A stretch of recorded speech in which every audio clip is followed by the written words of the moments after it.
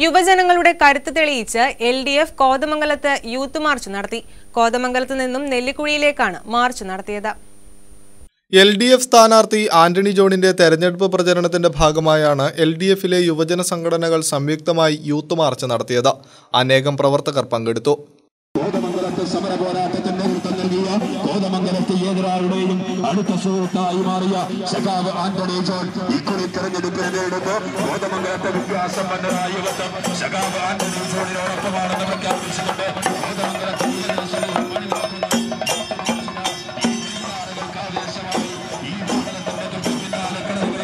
കോതമംഗലം ചെറിയപള്ളി താഴ്ത്തു നിന്നും ആരംഭിച്ച മാർച്ച് നെല്ലിക്കുഴിയിലാണ് സമാപിച്ചത്. Antony John M L A A Anshad K P Jayakumar P K Rajesh Adarsh Kuriakose Shijo Abraham തുടങ്ങിയവർ നേതൃത്വം നൽകി.